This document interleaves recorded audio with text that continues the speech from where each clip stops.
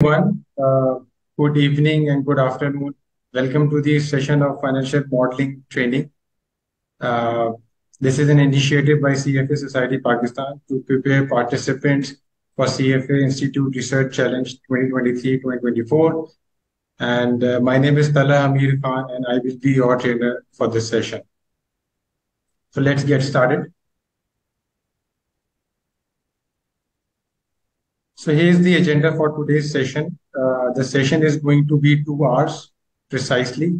Uh, and considering the scope of this workshop, I have divided uh, the uh, workshop into, into two parts. The part one is quite basic and in which we understand how to build a basic financial model from scratch. And during the workshop, we will build a model uh, started off with three statement financial and followed by a DCF valuation. And the part two, it bit more in advance. And in the part two of our session, we'll talk about the operating model of a textile company. Uh, we will focus revenue and expense, revenue and expenses of a textile company itself. And we will see what kind of basic assumptions we can take considering the current uh, economic environment uh, globally and locally. First thing first, here are the few ground rules that we need to abide by. Uh, first, everyone must have a separate laptop or a tablet. And uh, I strongly recommend each one of you to follow the proceedings and develop your own uh, model in your systems as we move on with this workshop. It really helps you understand the fundamentals of financial modeling. Second is related to using Windows operating system. Since I will be performing or doing the financial modeling on Microsoft Excel on Windows operating system. Therefore, those who are using iOS or Mac operating system uh, should consult to the Excel shortcut document, which uh, Javeria is, sharing it right now in your chat box. Javeria, can you help me sharing the Excel shortcut document in the chat box so everyone can have access to uh, the document? Thanks. The third one is related to using keyboard uh, only. So again, it is one of the Excel best practices internationally that you should be using your keyboard only while working on Microsoft Excel, building your financial model. And in this regard, Alt key and Control key will be your best friends uh, to explore more features of Excel. And ultimately, it help you uh, doing your financial modeling more efficiently and effectively at the same time. Uh, and the last but not the least is regarding uh, asking questions. Uh, you are highly encouraged to unmute yourself and ask questions directly rather than writing in the chat box, which is not a preferred way of communication as far as this workshop is concerned. And I have allocated certain uh, time during the workshop to take your questions, and that will be at the end of part one and part two, respectively. A few more ground rules. Uh, all participants will be muted for the for the entire session unless you are asking questions. And all participants are also requested to keep their videos turned off. Uh, participants will be asked to raise their hands to ask questions. So whenever you have questions during the allocated time of Q&A, you should raise your hand and then Javier will help us uh, identifying uh, the, the, the, person in the queue uh, to take questions. Uh, the session will be recorded and the recording will be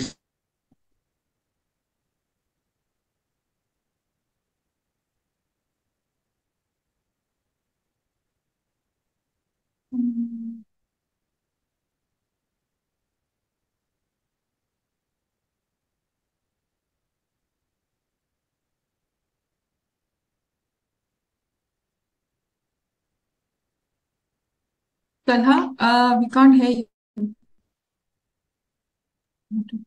Uh, can you hear me now? Yeah. Okay. So, so moving on to the first part of our uh, financial modeling session, which is how to build a basic financial model.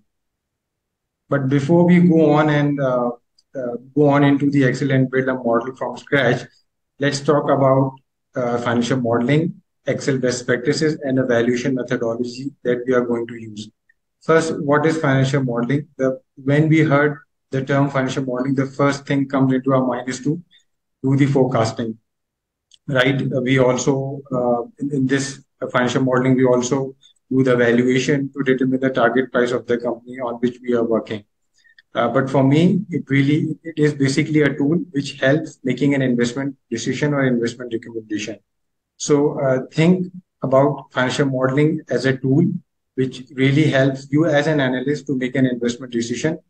Uh, and uh, the, the the more effectively you use this tool, uh, the more sound your investment decision would be. The financial model really recreates an actual business model on the spreadsheet, and it really simplifies the complex business model uh, uh, of, of, of, the company itself. A few basic guidelines about the financial modeling. So again, you uh, the first thing that you need to remember is the 80-20 rule. Uh, so there are many things when you start building the model. There are many things that you need to focus on. Uh, you know, uh, if you look at the balance sheet or the income statement of any listed company, you will see quite a lot of items that you need to focus. But you need to be very much aware of the fact that 80-20 rule applies uh, very significantly in financial modeling because 20% of the item in your uh, uh, financial statement drive 80% of your valuation. So you need to focus more on those material critical items which drives the 80% of your valuation. And later we will see when we do the textile company uh, case study that how critical it is for us to focus to focus more on the critical heads only rather than uh, doing all sort of uh, forecasting and focusing on immaterial item on the on the financial statement. The third and the, the second and the third uh, guideline is basically related to the financial model uh, and its best practices. Again, the simpler, the better, and organized is better.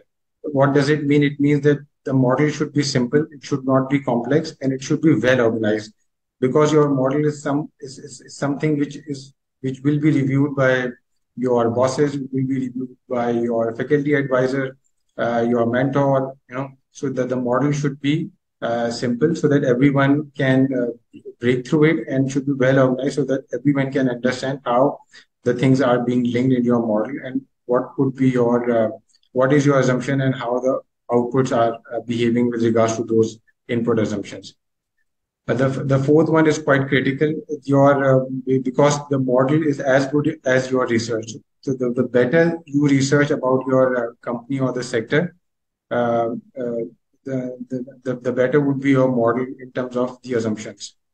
So it is highly recommended to understand your company know more about your company and how the, the business model works for your company helps you making the more sound financial model and which which will eventually help you making the sound investment recommendation. Um, the second last is related to market sizing. The generally, uh, again, one of the market best practices is to do the top-down approach. So uh, whenever you do the financial modeling, it is better you do the market sizing first, first start the market and the industry in which your company operates. Uh, and once you understand the market better, then you would be able to understand the company and do the financial modeling. Um, let's discuss a few things about the Excel best practices. Uh, so while working on the financial model, you need to be aware of the color coding scheme. Um, your cells should be should have a font color black if your cell contains uh, the calculation or the formulas. Your cells should be color coded font color blue if you have any punched in numbers or input numbers and generally historical financials and the assumptions are uh, punched in numbers and your financial model should have uh, should be color coded green for those cells which are linked with the different sheets and later in, in, in during our case study you will see how uh, these color coding schemes helps you make your model more interactive for any reader. Uh, the, the, the, the second Excel best practices is regarding inputs uh, in your uh, cell. So if you can see in the example uh, in front of your screen, the first example, it has a number directly inserted in the formula. Like the cell G3 has a number 19.7% inserted, which is of course the projected growth rate. The ideal way is to have a separate row, uh, row item where, where you have a projected growth rate and then you can link it to forecast the revenue for the year 2009. The third one is related to uh, the inputs again, and uh, this is regarding uh, make your uh, model more dynamic. You should input your uh, input your assumption once only, so that whenever you want to want to make changes into your assumption, you, you should be making changes on, only in one cell, and your model will be more dynamic, and you'll see the output directly. Uh, again, as we discussed in our previous slide, uh, you need to make a habit of using uh, keyboard shortcuts uh, to navigate uh, through your Excel sheets within your financial model. And again, the use of Alt key and the Control key helps you exploring exploring those features of uh, Excel. Um, the last but not the least is related to hiding rows and columns. And uh, I can see uh, we have a habit of, you know, doing extra calculation in our financial model and we tend to hide those extra uh, rows in our financial model. So preferably what you, you should do is to uh, explore the feature of group and ungroup, which, which is there in your Excel uh, file. You should be, if you really want to hide certain calculation in your model, which is uh, which could be your extra working, then you should ungroup uh, or group feature uh, rather than hiding those and columns. Here's the key Excel shortcuts. So I'm not going through the entire uh, list of Excel shortcut. And uh, I have also provided you the document and Javeria, I'll ask you again to share the same document because few of the participants just uh, joined it, join in uh, right now so that everyone can have access to that Excel shortcut document. And again, the more you practice those Excel shortcut document, the better you uh, will be able to use all uh, while working on Excel document and uh, uh, building the financial model. and the key Excel shortcuts is in front of your screen. Again, the F2 feature helps you go into the particular cell to make changes into. Similarly, cut, copy, paste, we all aware of aware of the fact that Control X, Control C, and Control V. Paste special is the feature that we are going to use so often uh, in our uh, financial modeling uh, exercise.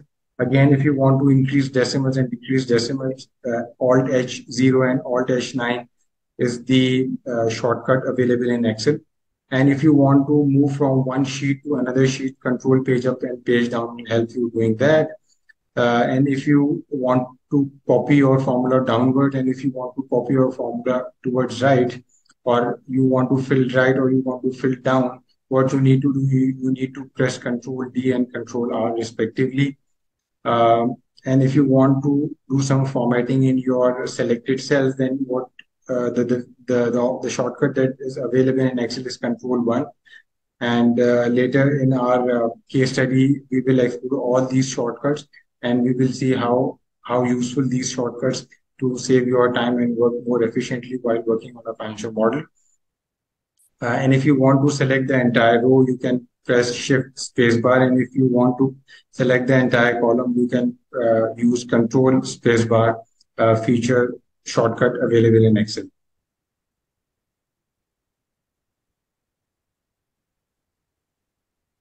So here's the financial modeling steps that we are going to follow. Uh, the step starts with uh, historical data. The first thing that you need to come up with is to have is, is to punch the historical numbers in your Excel file. And once you punch all those historical numbers, it could be last five years, less last 10 year data, uh, you will have a fair idea about the assumption and the driver that you are going to insert in your financial model. And after after after coming up with your own assumptions and uh, uh, the revenue or the income drivers for your financial model, you can start building your income statement and uh, you you can start with your revenue and uh, and you can forecast down to EBITDA. And once you uh, come once you forecast your EBITDA, you move on to the supporting schedule part of your financial model.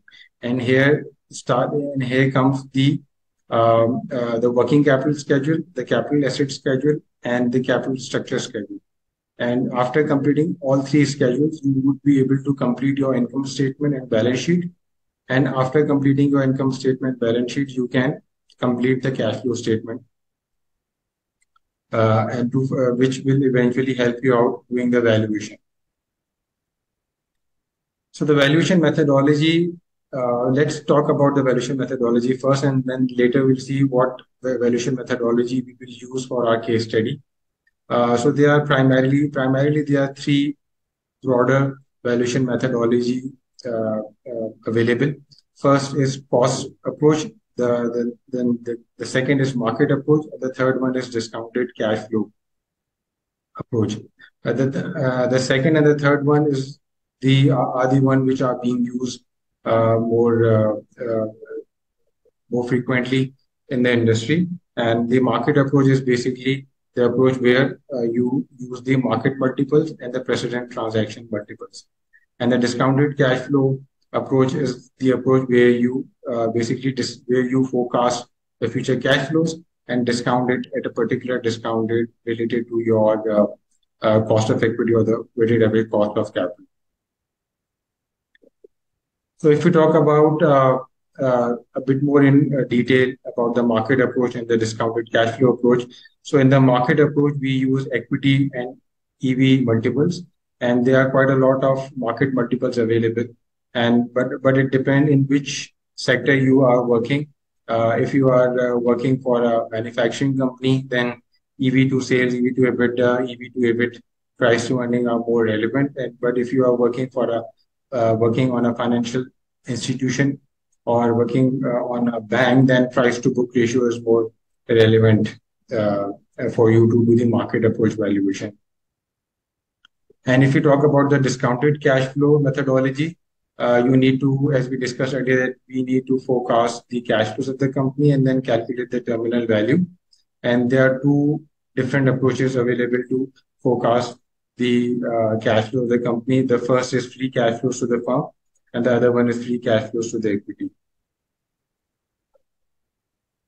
Uh, then here's the quick uh, set of formulas and the ratios that we are going to use for our uh, financial modeling exercise. And uh, here we have uh, the first we have is the working capital formulas, and uh, later you will see that how we can you know, forecast the working capital. So, so these are the formula that we are going to use. And on the right side of the screen, you can see the valuation formula that we are going to use when we do the key cash flow based valuations. Uh, and we will consult to this slide later when we build our own financial model and do the valuation. So before we move on to the part two, let's uh, get started towards the uh, to, to, to, to start building the model and uh, uh, into the Excel. So I'll ask uh, to share the Excel sheet which has the historical numbers so that everyone can access to uh, the document. Let me share my screen again uh, so that we have uh, the Excel sheet in front of uh, the screen for everyone's convenience.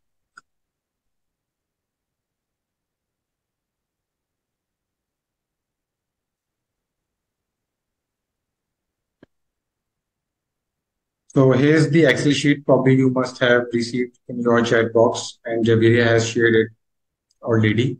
So here's the historical financial that has been given to us uh, uh, of a company named Private Company INC, and all these numbers are in dollars, uh, thousand dollars. And what we need to do, we need to uh, build a uh, three-statement financial model and do the valuation. So let's get started. The, so this is a brand new Excel sheet in front of your screen.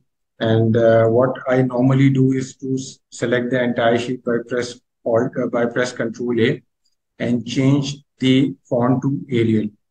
So I normally prefer Arial font uh, for financial model uh, model exercise and change the font size to 10. Uh, I'll increase the zoom so that everyone can have a clear view. I reduce uh, the size of the first column and start with the second column uh, the first row, and I will write the name of the company, which is Private Company INC. Uh, the the second row is basically the name of uh, the file itself, so it's the financial model. So I call it financial model. And the third row is basically tells you the name of the sheet. So the sheet would be the financial statement. So I'll uh, write financial statement. I, I will change the name of uh, the sheet as FinStat full form of uh, the, the shorter form of financial statement. Uh, row 4 would be my header. Uh, so I'll select the entire uh, range of cells and change uh, and, and change the color theme to blue, for example. So I'll change it to blue and change the font color to white.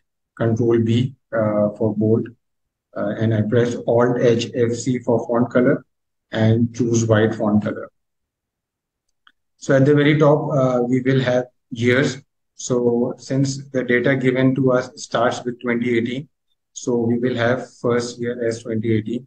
And you can see there is a comma uh, already there. So I want to remove this uh, comma because these are years, not numbers. So I'll press Control 1.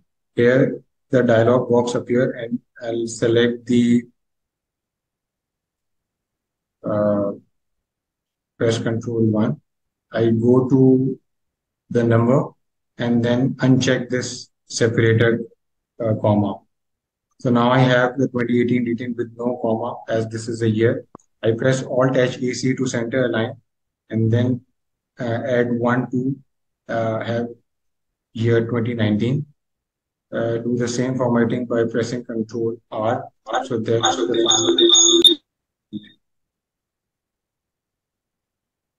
and uh, and just to and just to use again the one of the Excel shortcut is uh, basically Control R, and you can see uh, I have the number of years written at the very top using the Control R feature of uh, Excel to copy the formula towards right.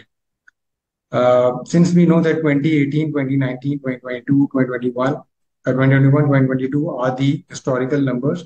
So I want to have, uh, I want to write A right next to these years. So I again press Control 1, go to custom, and I write A in front of 0, right next to 0, such that I have A written to it so that so that everyone uh, will be aware of the fact that these are the actual number or the historical numbers. And for these forecasted years, I'll again the same, I'll repeat the same process by selecting the entire range of cells, press control one, this dialog box appear, and then uh, uh, go to custom and then uh, write F right next to zero. Uh, so that have uh, F written next to these numbers. The first, the first section we will have in our financial model is assumptions. So let's have a color uh, as header and control B to bold and then use and write assumptions to have these uh, to have the assumption section. And then uh, the uh, and the next section we have is the income statement. So I copy the same thing to preserve the formatting and write income statement. Uh, so for for assumption section we'll keep we will keep it as it is. But for the income statement we have this data. And uh, you can see we are given with revenues cost of goods sold so let's write revenue over here, revenue over here, and less COGS, uh, which will give us gross profit.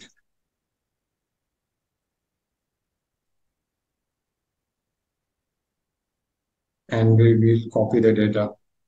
So we have uh, revenue, we'll select the entire range, press Control C, go back to my model press Alt HVS for pay special and select values and press OK. So for gross profit, uh, I, I, sum it up. I sum the revenue and cost of goods sold and, uh, and select the entire and press Control R to copy it towards right and do some sort of formatting again. So now we have gross profit uh, copied. The next item we have is salaries and benefit and rent and overhead. So let's copy this and paste it over here. And we will do again the paste special feature so that the entire formatting is preserved. Let's write less for all the expenses so everyone is aware that these are the number which are being minus, which are being subtracted. And again, uh, for the numbers, we will go back to my data sheet, select then the entire range of cells where we have salaries and benefits, rents and overhead, control C, and go back to my financial model and press Alt H VS uh, to copy these numbers. And by subtracting salaries benefits and rent and overhead, we will calculate uh, uh, EBITDA, which is earning before interest, tax, depreciation, and amortization. So let's write EBITDA and insert the summation formula and select the entire range, press OK. Now we can uh, copy the same formula for the entire range of uh, next 10 years by pressing Control R.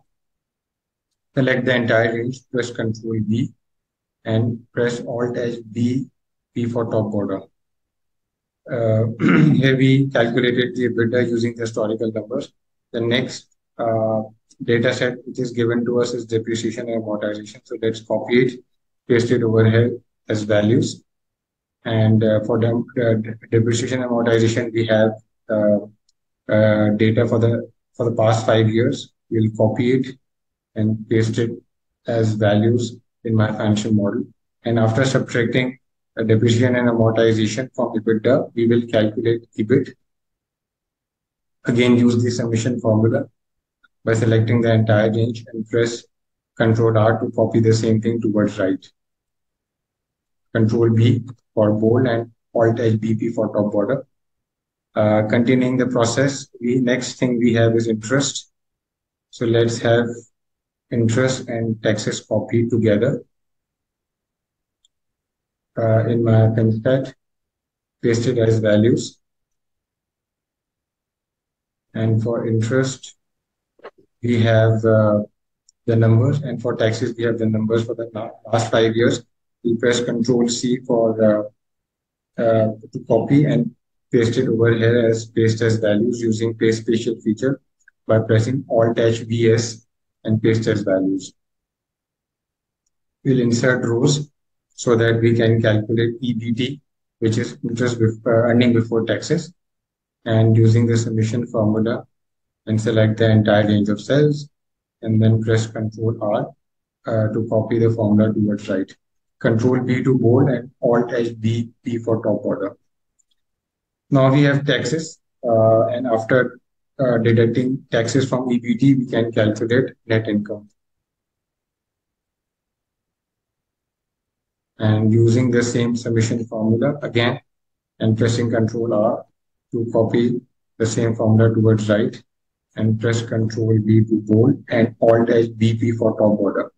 Uh, you can see that while importing or exporting number from one sheet to the other, uh, we are calculating our own uh, net income, EBT, EBIT, EBITDA because we want to make sure that my model is linked properly and give me the same results as the data is giving. Like if, if I want to see whether my net income is being calculated correctly or not, you can see in 2022, the net income is 28227. And we have the same number over here for 22, uh, 28227. Uh, before we move on to the balance sheet part of our financial model, let's freeze the cell by pressing Alt by pressing Alt WSS to freeze it, to freeze the top border.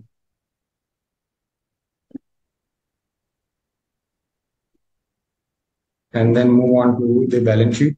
For the balance sheet, I'll use the same tab by pressing Control C and Control uh, B over here, Control B, and write balance sheet.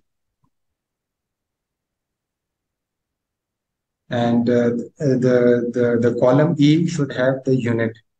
So let's have the unit written as well. And in the unit section, what we will do, we write USD 1000 so that everyone who is viewing my model should be aware of the fact that these are in dollars uh, with a unit thousand. Uh, I'll copy it uh, for every row item, paste as values.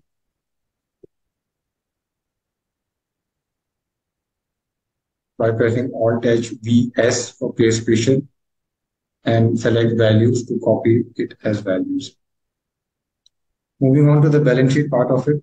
So what we have in the balance sheet, we have cash, account receivable, inventory, and property and equipment. Let's copy all these items and paste it over. Receivable, inventory, and property and equipment. Let's copy all these items and paste it over here as paste as values.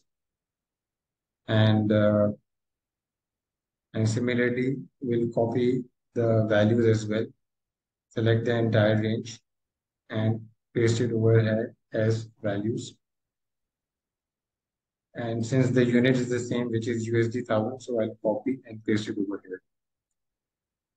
Uh, the first three item is related to uh, the current asset. So let's bifurcate it and calculate current assets separately by using the summation formula and press Ctrl R to copy the same towards right. And have top border by pressing Alt H uh, BP.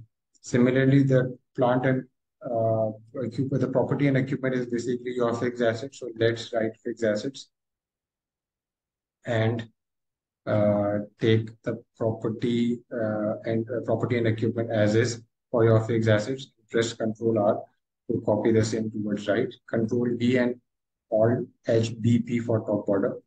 Now moving on to the liabilities and the equity section we have accounts payable, debt, equity, and retained earnings. So let's copy the entire uh, range of cells, move uh, to my financial model, and paste it as values. Here, accounts payable and debt is basically your liability. So let's write total liabilities and let's first copy the values before we do some sort of formatting. So let's control C and paste as values by pressing Alt H VS over here. And again, using the same unit, uh, control C and control V. Inserting rows and uh, we will calculate total liabilities. So for total liabilities, what we need to do, we just need to insert the summation formula and then press Ctrl R to copy the same towards right and do the formatting by press Ctrl B to bold and Alt H BP for top order. And uh, for for total equity equities uh, we again uh, use the summation formula and press Ctrl R to copy the formula towards right Control B and Alt H BP for top border. One last thing that we need to do is just to calculate total assets. Total assets over here. Control B and Alt H BD for double border. USD thousand. And we will add current assets and current liabilities to calculate total assets. And similarly, we will calculate total liabilities and equities by adding total liabilities and total equities and press Ctrl R and doing the same formatting as we did for total assets by, by pressing Ctrl B for bold and Alt H V D for uh, both borders. Now we will have check uh, right at the bottom to see whether my balance sheet is balanced or not. Since these are all the items which is given, values which is given to us, but this check will help us identifying whether my balance sheet is balanced or not for the forecasted period, preferably. So here we have uh, uh, exported the income statement and the balance sheet, uh, the data that we are given with. So let's uh, start doing the forecasting. Uh, first thing first is, as we are aware that we discussed recently uh, during our uh, presentation, that the first step that historical numbers and the next step is the assumption. And then you can move on to the uh, income statement. So let's, uh, so we have inserted the historical numbers. So let's move on to the assumption section. So for the assumption, the first start with the revenue we have uh, the revenue for the year uh, 2018 uh, till 2022. So let's calculate the revenue growth for the last five years yearly basis. so what we have seen that the revenue growth of the company is going down uh, over the last four years and but with an average of 10%. So, so for now, let's forecast uh, a 10% growth rate for your uh, for your revenue, and we assume that the same will be kept uh, for the next five years. Again, um, as part of uh, the industry practice, uh, we are this is this is not the approach which is recommended and being used. But later we'll see when we do the Taxide operating model, that how do we forecast the revenues and the expenses of a real life uh, of a real life company. But for the purpose of Uh, forecasting and doing the basic financial model, let's do, uh, let's keep it very simple and uh, take an assumption of 10% growth rate for your uh, revenue. So let's take the 10% growth rate to forecast your top line in your revenue. The next item we have is the gross profit. So let's calculate gross profit for the last five years. Uh, so in in 2018, we have the gross profit of uh, uh, 61%, which basically increased to 62.4% by the year 2022. So let's keep the discount rate at the same level, which is somewhere around 62%, right? And uh, for the next five years, again, this is not the ideal way to calculate the gross profit uh, for any uh, for any company when you do the valuation or when you build the financial model. But again, as I said earlier, that just to keep things simple, for the part one of my uh, workshop session, we are just taking the historical assumption as my forecasted assumptions. And later we'll see how we can forecast the revenue and Uh, the expenses uh, for any real-life company. So let's use this uh, gross profit assumption to calculate the cost of goods sold. And make sure that you have a negative sign before COGS, and press Ctrl R to copy the same formula towards right. Similarly, using the same thought for the salaries and benefits, let's uh, have salaries and benefits as percentage of revenue. So let's take uh, salaries in the numerator and divide it by sales. Press Alt+H+P uh, to have a percentage sign, and then press Control R to copy the same formula towards right. Now, you can see that salaries and benefits uh, is basically somewhere around 19% on an average basis uh, with regards to sales. So let's keep this thing as constant as as 19% uh, for the for the next five years. And using the same assumption, we can calculate the salaries and benefits for the next five years. Uh, for rent and overhead, uh, again, uh, if you see, these are the constant number. It is not increasing in relation to sales. So therefore, let's keep this number as a constant number, and it could be somewhere around, on an average, it could be somewhere around 11,000. So let's keep it as a constant rather than taking any percentage of sale or something of that sort by pressing Control R. So now we have forecasted EBITDA. As we as we are aware of the fact that as part of our financial modeling steps, we have done with step three, which is forecasted just to forecast revenue down to EBITDA. Now we can move on to forecast working capital, capital assets, and capital structure, and for that, we need to build a separate schedules for each and every one. So let's go down uh to uh go down to the very end, and let's have a separate header, and we will copy it and paste it. We have the same formatting, and let's write working capital schedules. So for working capital schedule, the first thing we have is account receivable.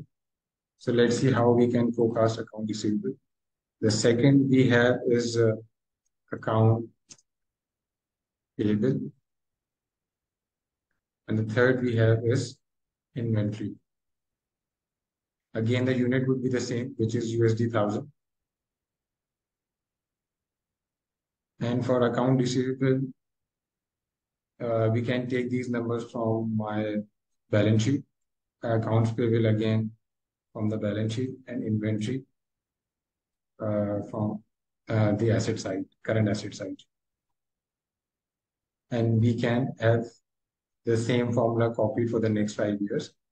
Uh, so for account receivable, what we are interested in is basically account receivable days. Uh, so let's write accounts receivable days. For account receivable days, what we need to do, we need to insert the formula which we uh, discussed earlier in our presentation.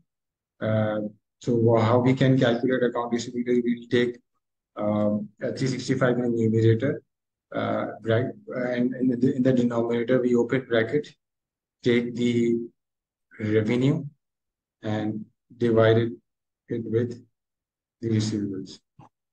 So here we can see the account receivable days are somewhere around 18 for the last uh, five years. Similarly, for account payable days, accounts payable days for accounts payable days, uh, we can uh, calculate account payable days by taking 365 in numerator and in denominator we will take uh, uh, cost of goods sold and divided it by accounts payable and bracket close.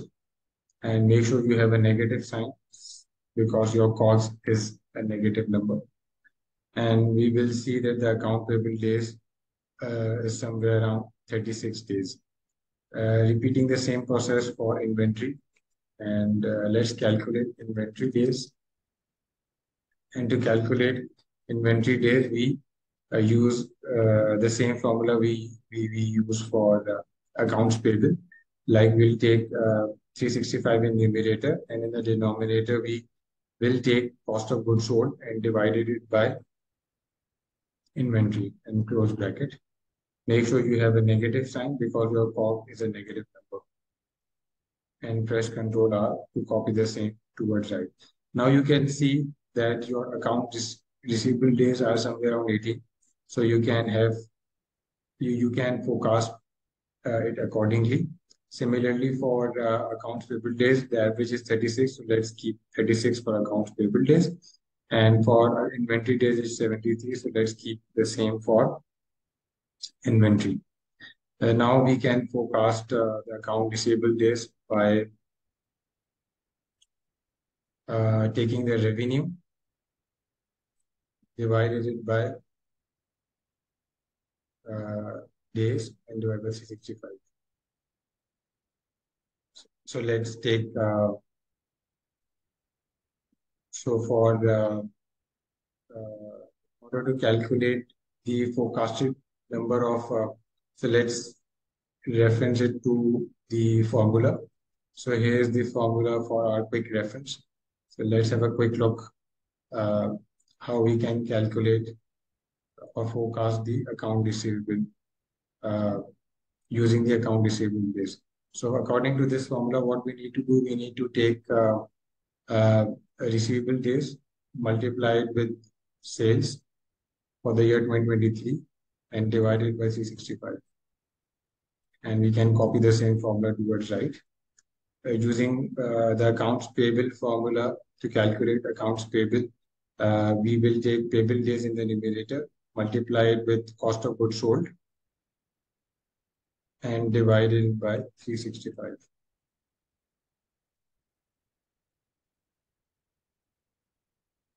And then copy the same towards right to calculate accounts payable for the next the five years. And for, uh, for inventory, I will take the inventory days, multiply it with cost of goods sold and divide it by 365. So here we calculate the inventory. Now we can calculate the working capital of the company so that we can calculate the changes in working capital, changes in working capital and which is needed for our cash flow statement, changes in working capital. So let's have the same unit, which is 1000 USD 1000. And working capital is basically your uh, account receivable plus inventory minus accounts payable.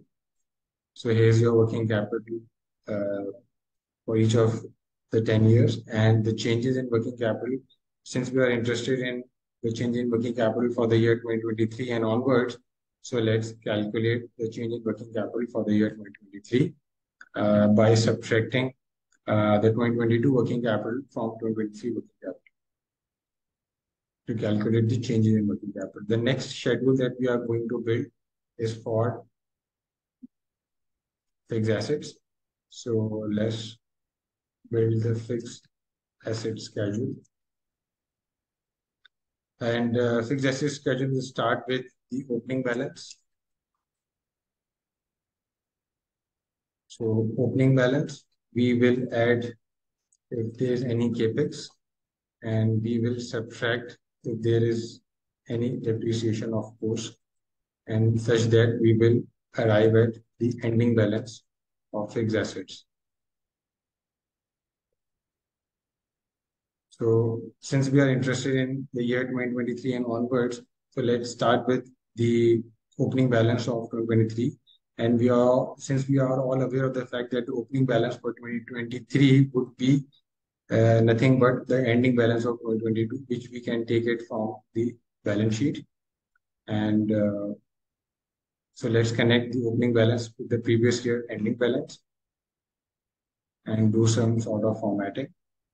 Control B and Alt HBP for top border. And uh, have the summation formula for ending balance. So how do we calculate the capex and depreciation? And if you go to the data sheet, you will see in the cash flow statement that the company is uh, incurring investment in property and uh, equipment uh, of 15 uh, million dollar each year. So let's have the same assumption for the next five years as well. So let's insert 15 uh, million dollar for each of the next uh, five years and the unit would be same as USD 1000. And for depreciation, again, let's calculate the, uh, the depreciation percentage over here. So let's calculate depreciation percentage of opening balance.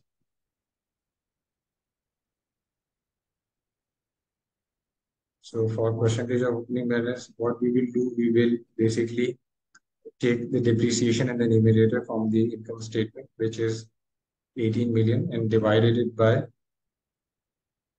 the last year closing balance of fixed assets.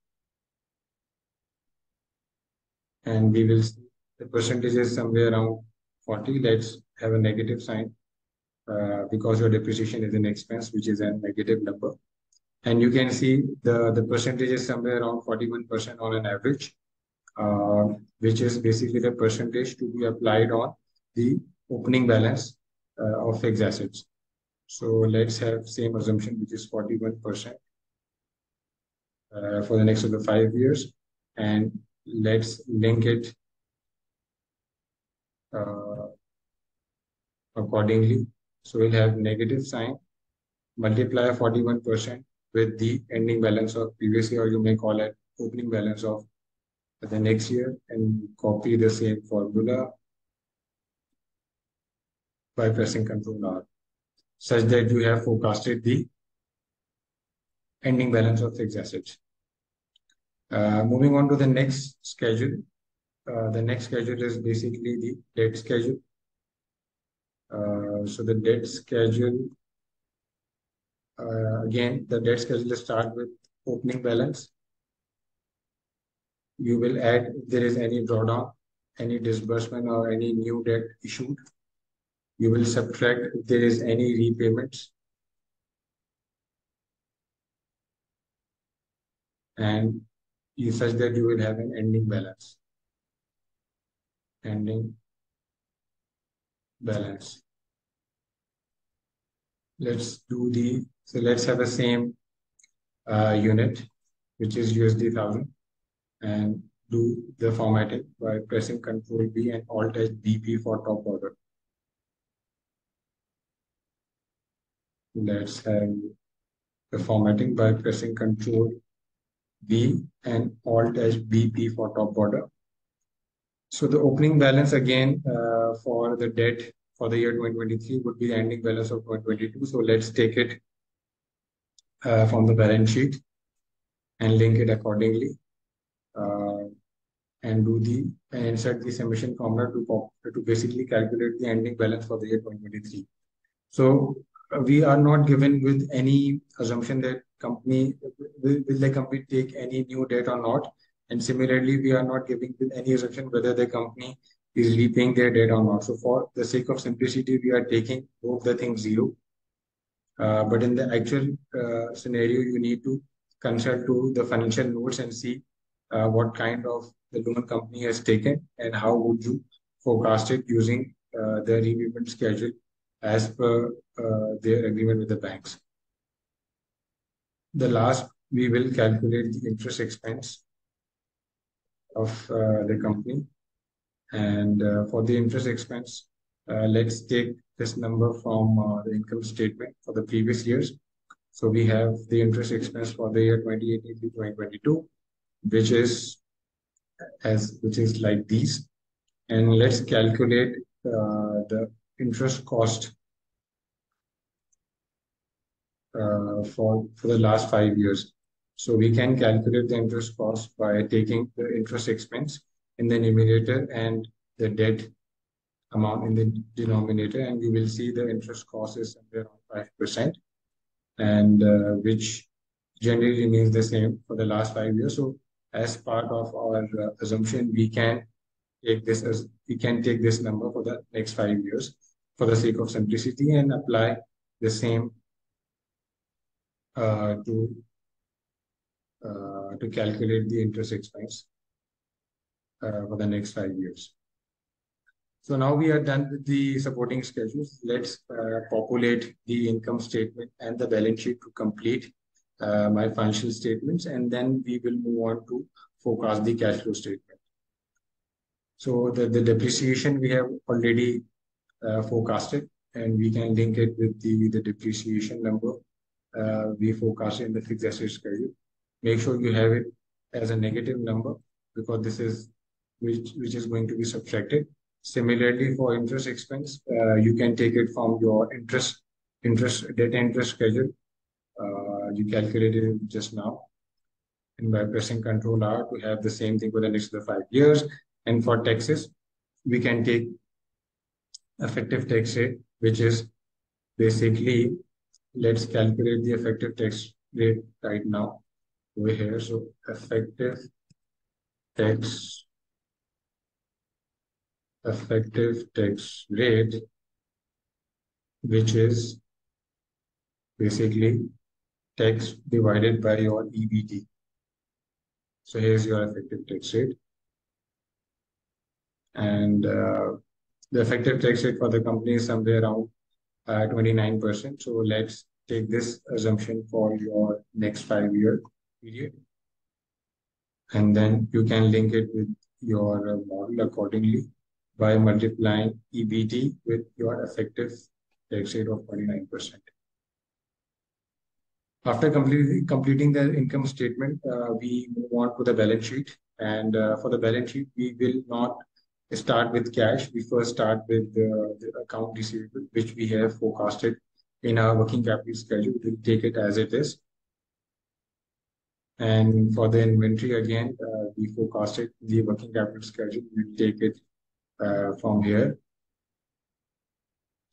Uh, for property, plant, and equipment, we will go back, we'll go to our fixed asset schedule, fixed asset schedule, and take it and take the ending balance. Uh, for accounts payable, uh, we go to the working capital schedule and take the accounts payable number that we have forecasted and control R.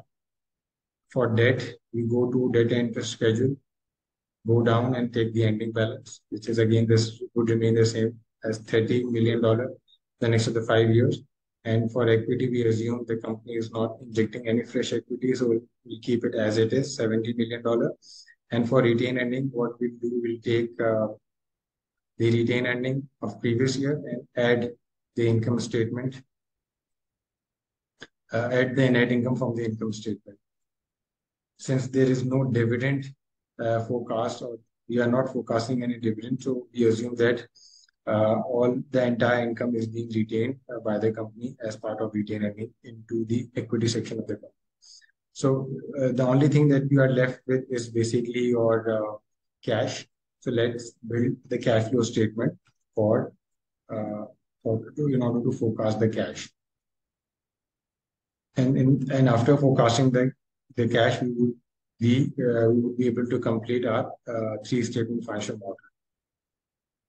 So so let's write cash flow statement, cash flow statement.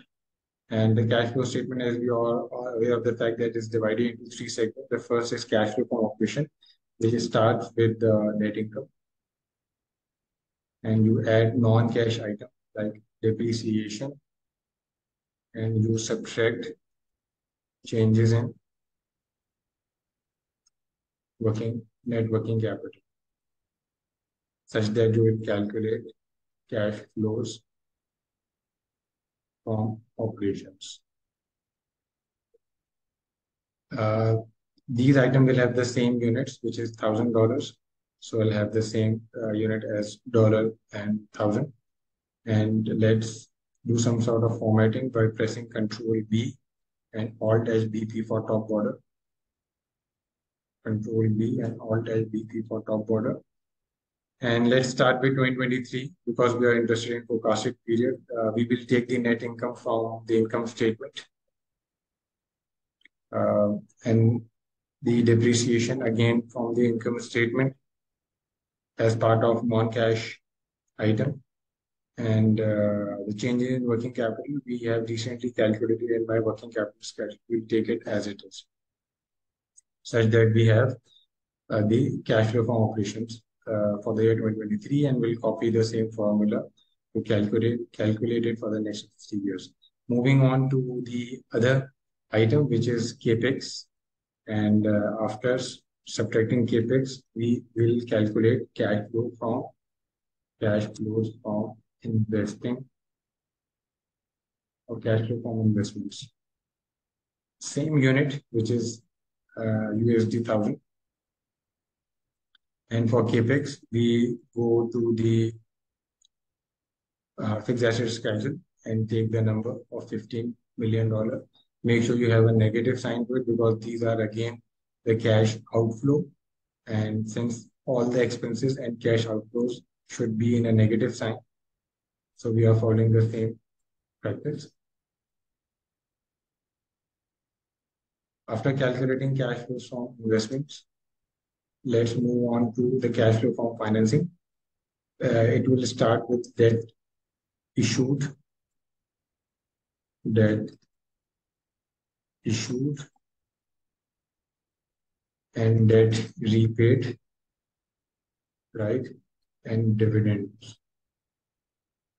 And after taking impact of all three items, we will calculate cash flows from financing since it will have the same unit, which is USD 1000. So I'll copy and paste it as it is, do some, some, do some sort of formatting by control B and alt as BP for top border. So since the debt issued and debt repaid is again something which is zero in our model. So let's uh, take it as it is and press control D and control R. Dividend again is zero. We are not assuming any dividend, so keep it as zero. So cash flow from financing is something which gives you uh, a nil impact. So it does not have any impact on cash flow from financing. So after calculating all three uh, cash flows, we can calculate net cash generated. Net cash generated. Uh, so net cash generated is basically is nothing but the sum of all three uh, cash flows. So we'll do the formatting, Control B and Alt H B D for both the borders. and we will sum cash flow from uh, operations, cash flow from investments, and cash flow from financing. Press Control R to copy uh, the same formula for, for the next of the three years. Let's add let's add the beginning balance. Let's add the beginning balance. So the beginning balance is basically uh, your, uh, so for the year 2023, the beginning balance would be the ending balance of 2022. So let's link it accordingly and such that it gives you the ending balance.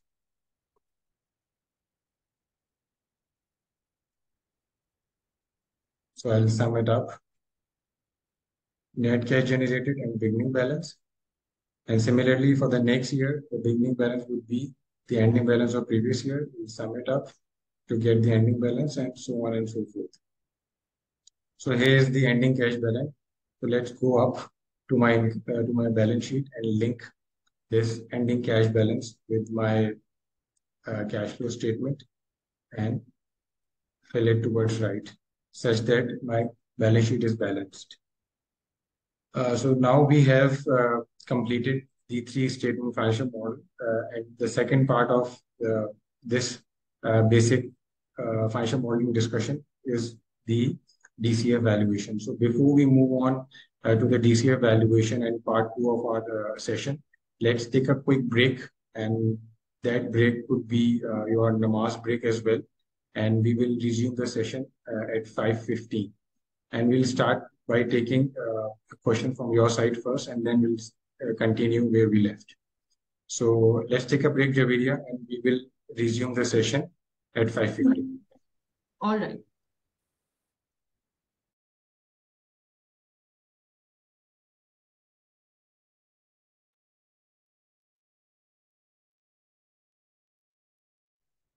So it's already 5.15, so let's get started. Uh, so I'll start with taking few questions from your side. If anyone has any, please uh, unmute yourself and ask uh, so that we can move on to the remaining part of our uh, discussion. So please, the floor is open. You can ask questions, whatever we discussed so far.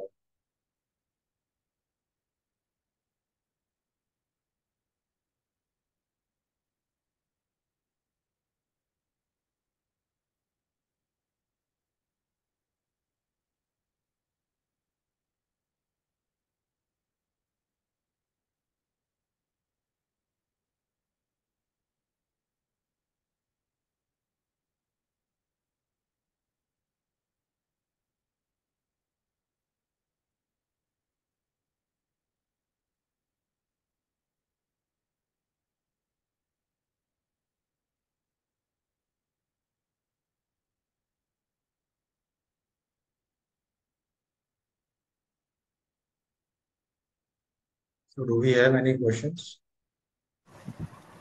Hi there. Assalamu alaikum. वालेकुम basically uh, uh, मेरा question ये था कि how to go about the assumptions you have taken like if we are working on a textile industry तो इनकी जो growth है uh, revenue के हिसाब से अगर बात करें या इनकी इंटर सेगमेंट वाइज बात करें तो ग्रोथ को कैसे हम लोग अप्रोक्सीमेट कर सकते हैं अजम्पशंस में correct Uh, so for so let's park this question for our uh, discussion in part two. Uh, we will dedicatedly talk about the textile company operating in Pakistan and how we can come up with our own assumptions. As you rightly mentioned, what what could be the uh, growth assumptions in terms of revenue and what could be the uh, margin assumptions as far as the profitability is concerned. So we'll take this up and maybe discuss in the part two of our discussion. अगर आपको कोई सवाल है specifically for the financial modelling and uh, how do we calculate uh, you know how, how do we forecast the three statement financial model do let do let me know thanks for the question so if we do not have any question let's resume the session where we left hello am i audible yes yes Um, sir, I have a question. Like, if we have other heads in um, account uh, payables, uh, like the payables of the company, if they're other than account payables, like note payables or some other payables, so uh, are we supposed to club them with the account payables and then calculate them um, the assumptions and go forward? Like, I'm confused with that. So पहले तो आपको देखना पड़ेगा कि what what is the quantum of that number is if it is significant as part of your balance sheet compared the overall size of the balance sheet अगर तो other payables का number काफी बड़ा है then you can you need to deep dive into it and see where where these numbers are coming from तो फिर आपको focus उस हिसाब से करना होगा if, if the number of other people is not that much big you can keep it constant so that it, it will not impact your cash flows but other payables is different from the accounts payables. So accounts payables are those uh, numbers which is there uh, as part of your cost of goods sold or the payables to the creditors. Uh, but other payables may include some other items as well. But you need really need to see uh, what's the quantum of uh, this number is. If it is not material, considering the overall size of the balance sheet, you can uh, keep it as it is or keep constant so that it will not impact your cash flows because it may not be a material impact of a material impact to your uh, to, to, your valuation at the end of the day. So similar would be the case for uh, other hedge if we have in the uh, assets and in the equities portion. Correct. Uh, so generally, again, as we discussed uh, during our slide, is to is to remember the 80-20 rule we will only focus on the 20% of the items in the balance sheet and the income statement, which drive the 80% of the valuation.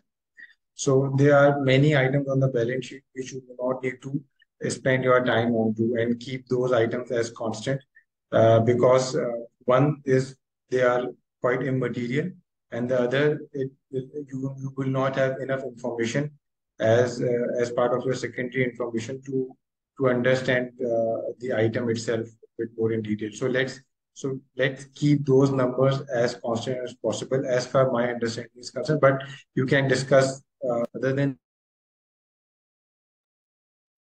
Thanks, Javeria. So, do we have any other questions?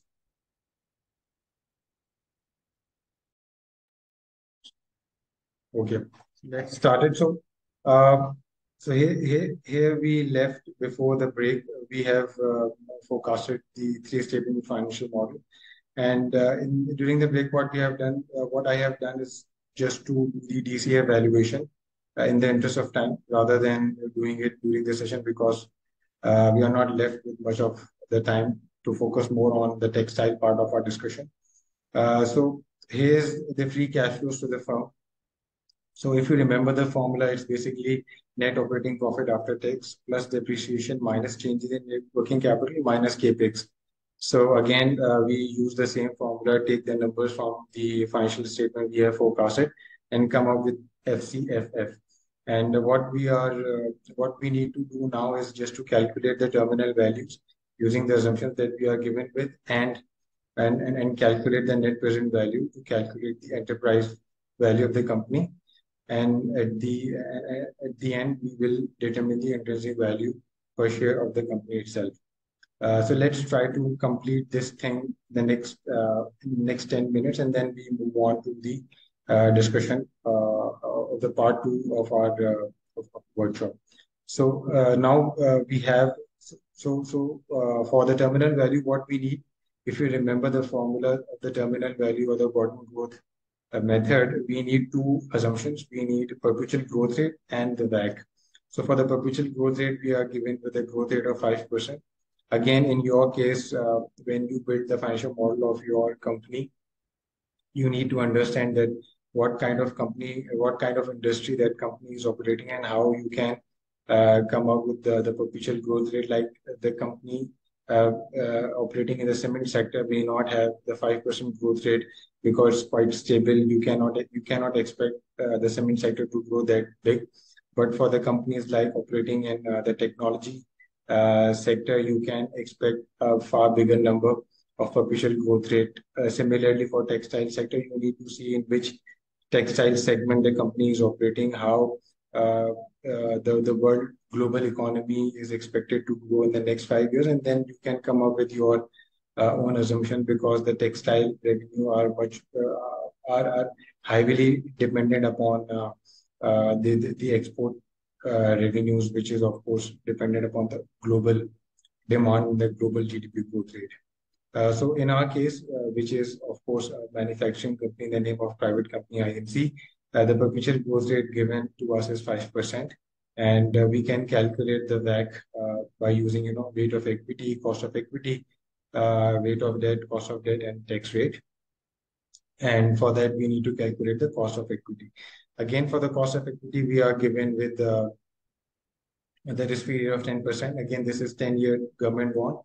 And if we talk about uh, from the perspective of Pakistani market, uh, the 10-year government PIB uh, rate is somewhere around 15%. You should take it 15.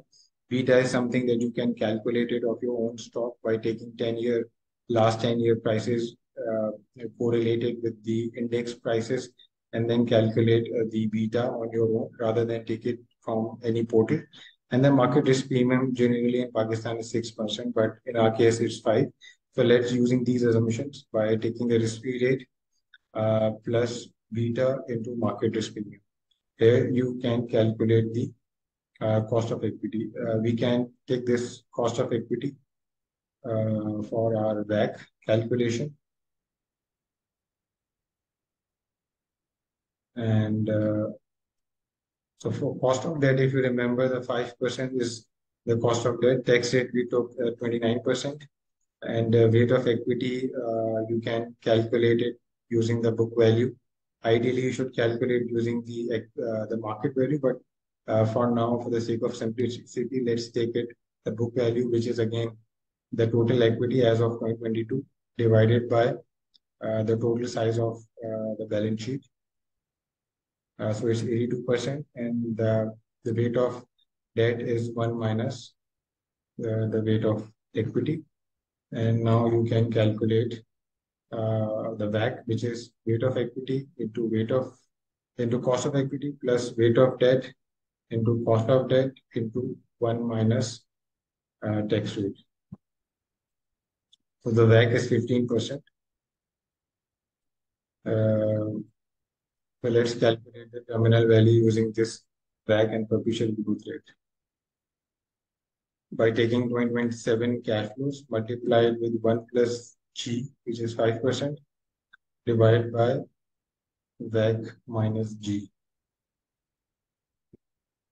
So here's the terminal value, and now we can calculate the uh, present value of uh, the company. So let's write this. Uh, so let's write the valuation uh, so by taking the net present value of the future cash flows, which is free cash flows to the firm, we will uh, come up with the enterprise value. And the enterprise value we can calculate using the NPV formula. Rate is again the WACC and the cash flow is basically for the year 2023 till 2027. Since this is an enterprise value, we need to subtract debt and add cash to calculate the equity value.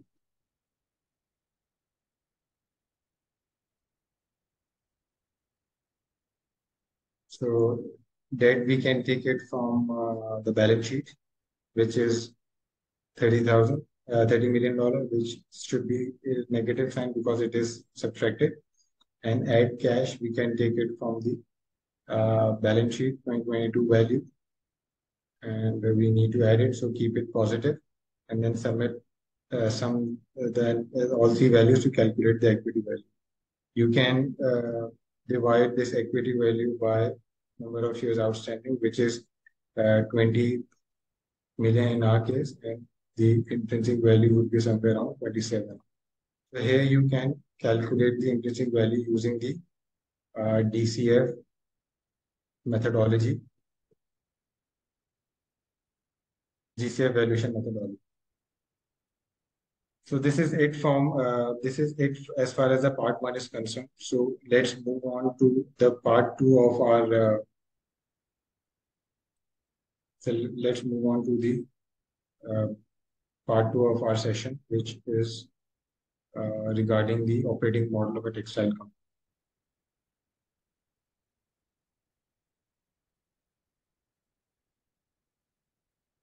So let's get started. The first thing, so whenever you do the uh, evaluation of building the financial model of uh, any company, uh, you need to understand the overall value chain of the sector itself. So as far as the textile is concerned, we know that starts with the cotton fiber.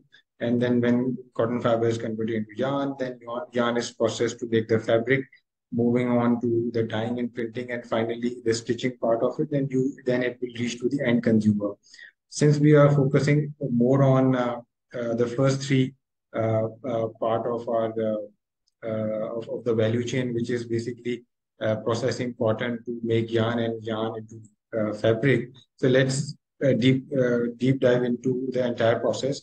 So as part of uh, the, as part of the value chain, the first process is basically known as ginning, where the cotton fiber is con uh, converted into cotton bales, and, um, and, and the ginning machine is being uh, used to basically convert the cotton fiber into cotton bales.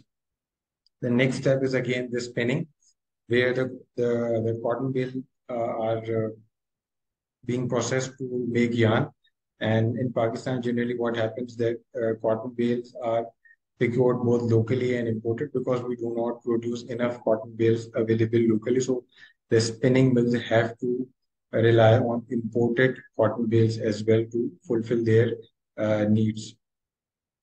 And the third process that we are interested in is weaving, where the yarn is basically converted into the fabric, and uh, the looms are the machinery which uh, are being installed in the weaving unit to convert yarn into fabric.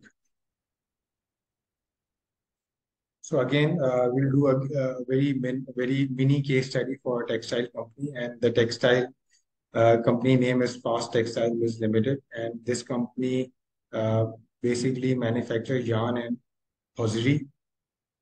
And as we discussed earlier in the previous slide, that if uh, if, if company manufactures yarn, it would require cotton bales, right? So it would require cotton bales to process, uh, process and make the fine finished goods in form of yarn. Uh, in our case, uh, which is Fast Textile Mills Limited, uh, it procures cotton from the local market and the, from the international market as well.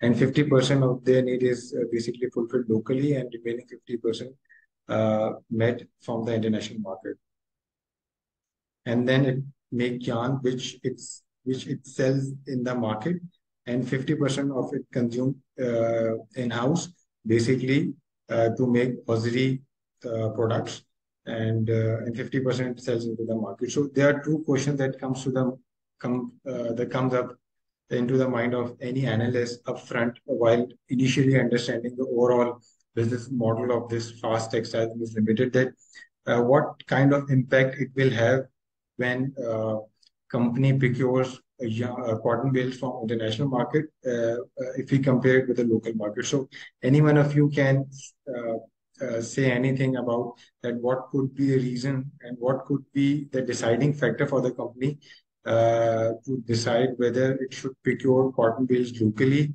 or from the international market. Considering the fact that the company is uh, operating to manufacture yarn first uh, so what could be the deciding factor for the company to procure international from the international market or from the local market? So anyone can uh, guess what could be the factor, and this is basically the general uh, rule of thumb in the uh, in the local market. Uh, yes, Munib.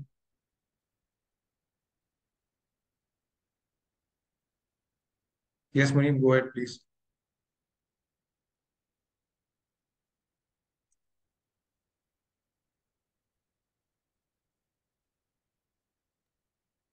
Uh, I think they're writing questions in the chat box. Okay, so someone says dollar quality, exchange rate, quality, yes. So as you as so as it is rightly mentioned, the major factor is basically the quality. So uh, the better the quality, the the better the yield you will have, and you can produce better quality yarn at the end of the day. Uh, so if the international market is on a higher side and the the price of the cotton bales in the international market is higher than the local market, uh, the deciding factor could be again the exchange rate uh, and uh, and and also the quality of the yarn uh, of, of the cotton bale itself. Because better quality cotton bales give you more yield uh, from which you can more yarns out of it. Similarly, the next question comes to your mind is why the company is selling yarn into the market directly and not consuming the entire yarn locally, uh, I mean in-house, to produce hosiery? What could be the factor which makes the company to decide to sell yarn in the market and then procure uh, yarn for hosiery segment? What do you think?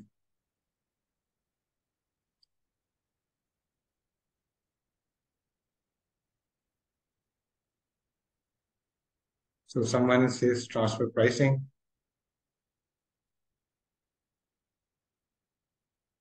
Anyone else? Demand. Correct.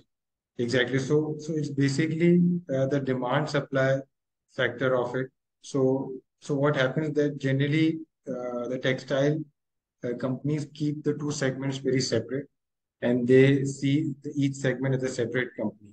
So if yarn, uh, if you have yarn and the market is going good, and if you got, uh, if you if you get the better price from the market as uh, when you selling your yarn uh, outside your company, then you prefer to sell it into the market and make money out of it, uh, rather than keeping it in house, which you can use it later. And and and then similarly, when they want to procure it uh, for hosiery manufacturing, they'll see what kind of market it is right now, whether they should procure it in-house or they should purchase it from the international market. So again, as it is rightly mentioned by uh, many of you, that it's basically the mechanism of supply and demand and the better pricing and the better quality yarn that is available in the market, which will give you eventually the better yield. So this is basically uh, the few assumptions uh, that we have come up with uh, for our uh, company, which is Fast Textile Mills Limited we'll see how we can uh, build the financial model or you may see uh, an operating model for this company taking all the assumptions into account. The next uh, set of assumptions that we are given with is the energy requirement. Since we know that the second highest uh, cost that the company, that, that the textile company has after the raw material is basically the energy, the energy, the fuel, the fuel and power cost. So in my case, which is the Fast Textile Mills Limited, it is given that the company has a sanction load of uh, uh, 50 megawatt and, and the running load of 35 megawatts, not 50, it's written 50 in, the slide, but it's basically a typo, it's a 35 megawatt running load. So it's a general rule of thumb that company do have a sanction load which is on the higher side, but the running load of the company is of course below than the sanction load which could be, you know, 10% uh, below or 20% below the sanction load.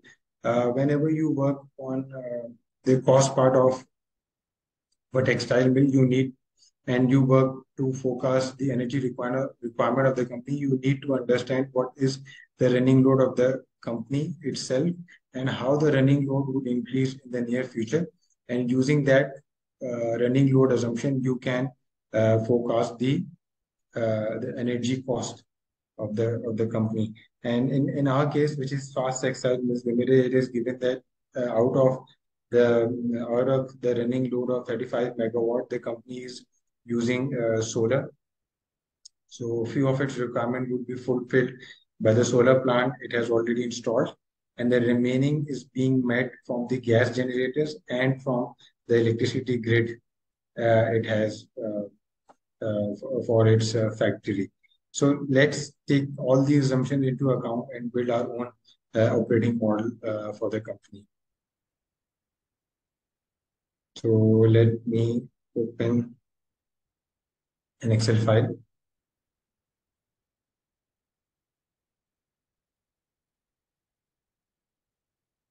So here's uh, so here's the operating model which I have already built uh, for this uh, Fast Textile Mills Limited company which we are working on with a set of assumptions which is given to us.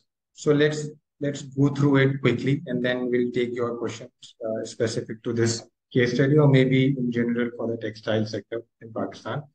Uh, since we are building an operating model, so uh, we start with the sales uh, and then uh, uh, cost of goods sold and other operating expenses to calculate the operating income. Since we are interested in calculating the operating income um, only. So for as far as the sales is concerned, you can see down that the revenue breakup that we are given with is basically export sales and the local sales. So the company is basically selling 90% of its uh, revenue uh, outside of the country in form of exports, and the remaining is uh, local sales. And uh, since we know that the revenue is comprised of sales from the two segments, which is hosiery and uh, spinning segment, so let's focus on the spinning uh, hosiery segment first. What we are given with that the hosiery segment has the sale of around uh, 30 million rupees for the year 2019 and it increased to 77 million rupees for up to 2023 and it has it has it also has some intersegmental sale as well which is quite uh, minimum which is somewhere around less than 1% of the total uh, sale of the segment itself.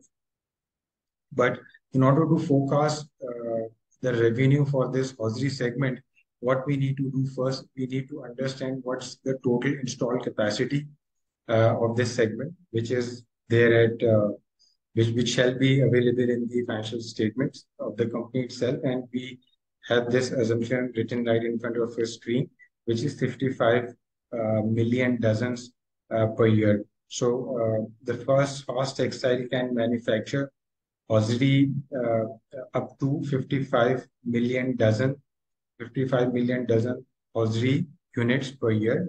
And uh, over the over the last five years, we can see that the capacity utilization of the company is somewhere around 80% on an average, and it has been increasing over the years.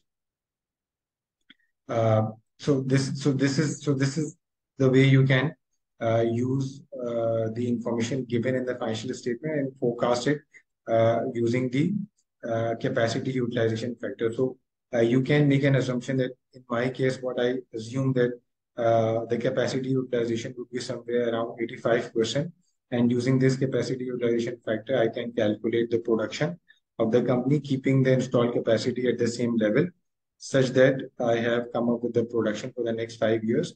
Uh, after forecasting the production, uh, we need to forecast the prices. Uh, so for the prices, we, we, we can calculate the historical prices in rupee terms and the dollar terms both. So for the rupee term, what we need to do, we need to divide the revenue with the production units for each year so that you can see how per dozen of price of the company is moving over the last five years.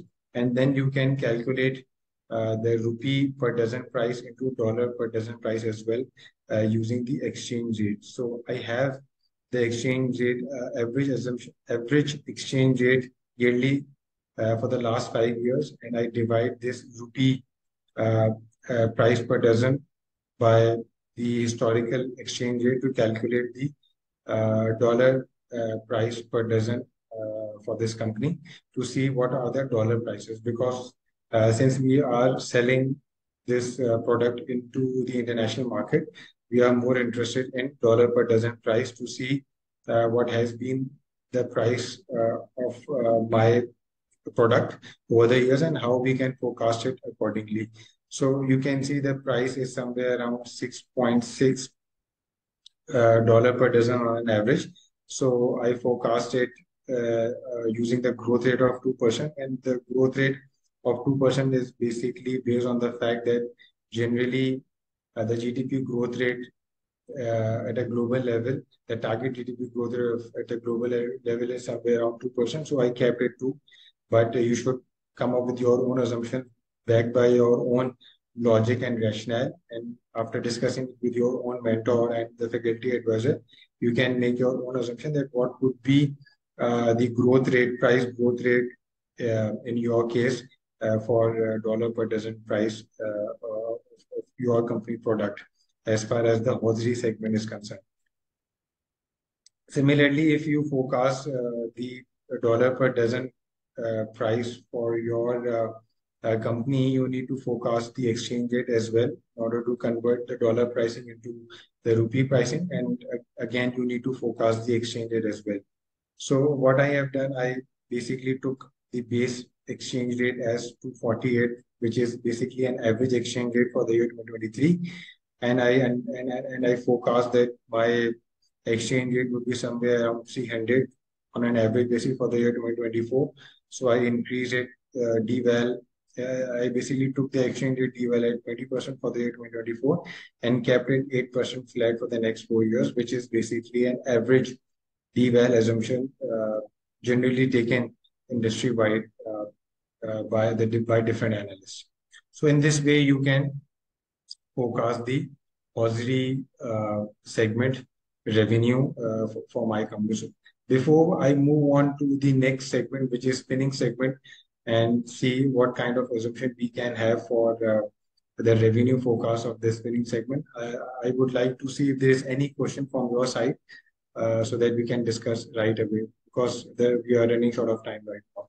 So please feel free to ask right now. You can unmute yourself and ask if you have any questions with regards to textile uh, and with regards to uh, revenue forecasting and its assumptions.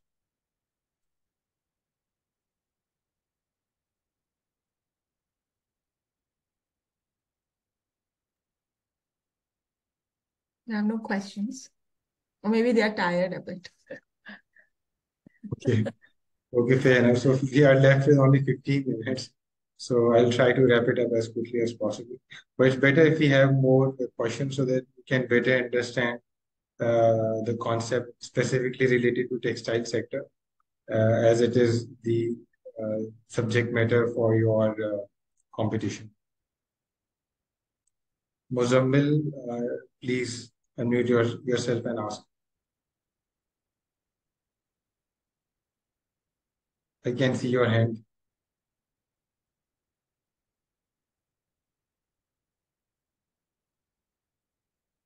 How to go about the capacity utilization if this is an expansion? Yes, sir.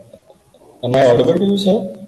Yes, yes, I can hear you. हाँ अच्छा sir मुझे ये पूछना था कि जिस तरह अगर हम डॉलर्स में अपनी सेल्स को फोरकास्ट करते हैं तो तो उसमें उसमें अगर हम कोई अनयूजुअल पैटर्न देखें, या फिर कोई ऐसा पैटर्न बनता हुआ देखे ही ना हमें मतलब तो सेल्स ऊपर हो रही है, फिर नीचे हो रही है, फिर ऊपर हो रही है तो तो उस, उसके बाद हम किन एजम्पन्स के ऊपर फोकस करेंगे तो एक तो हमने सेल्स को देख देख लिया कि अगर इसमें कोई हमें विजिबल पैटर्न जो है, कोई रैशनल पैटर्न हमें नज़र नहीं आ रहा तो इन दैट केस हमारे पास कौन सी ऑल्टरनेट चीज़ें हो सकती हैं, जहाँ जहाँ से हम फिर उसको थोड़ा उसके रैशनल बिल्डिंग में भी इस तरह आगे बढ़ेंगे, अगर रेवेन्यू ना हो तो हम दूसरे एजम्पन्स कौन सी ले सकते हैं?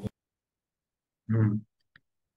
Again, uh, for the revenue, of course, we have two factors. One is uh, volume and the other one is price. Your question is related to price. So the price, to, uh, as, as you said, price का अगर कोई pattern हमें नजर नहीं आ रहा है और there is unevenness in terms of price per dozen, for example, in our case, and you cannot, uh, we cannot conclude the fact that what could be the future price per dozen in your case while looking at the historical price per dozen. Uh, so what you can do, you can see that there should be some pattern for for for certain years of uh, for certain year as well. For example, आप पाँच साल नहीं आप दस साल पे देख लें historical trend. Uh, you will have a fair idea कि पिछले दस सालों में प्राइसेस uh, कैसे रही हैं डॉलर पर डजन फॉर एग्जांपल और उसमें कोई आपको साल कुछ ऐसे दिखेंगे जहाँ पे आपको कुछ एक सिमेट्री नज़र आ रही होगी कि पर यूनिट मेरी डॉलर की ये प्राइस है तो that can give you a fair idea कि मैं किस तरह से फोकस कर सकता हूँ। अगेन और जो प्रीवियस ईयर्स होते हैं like if you are focusing 2024 तो जो 2023 और 2022 के ईयर्स होंगे that is more relevant in your case because these are the years which which which are more relevant on which you can build on your assumptions uh, more uh, uh, तो जो previous two years three years की assumption होंगी, आप उनको भी लेके देख सकते हैं। आप ज़्यादा पीछे अगर आपको अनइवेनेस दिख रही है तो you can ignore those unevenness but again given the information set of set of information you have as per the publicly available annual report this is this is best you can do as far as your assumption is concern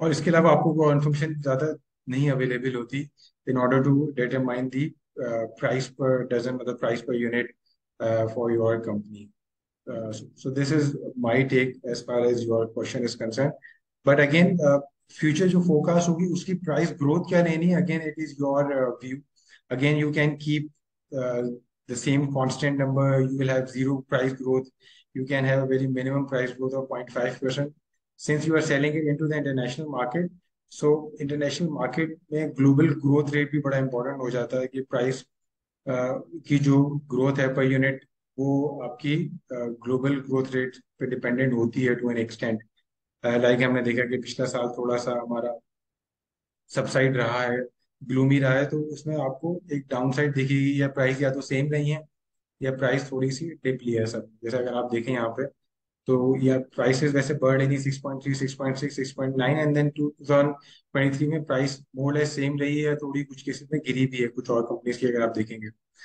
और एक और last thing आपके इस question में वो ये हो सकता है उसका जवाब कि you can also look at the peer company as well.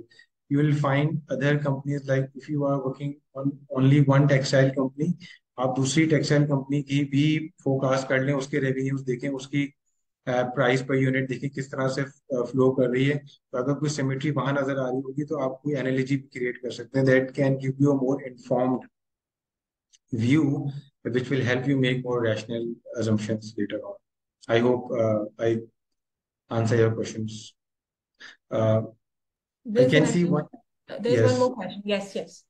Uh, in the chat box, it says that how to go about the capacity utilization. There's an expansion. Uh, again if there is an expansion you may not expect कि आपकी capacity utilisation एकदम से बढ़ जाएगी।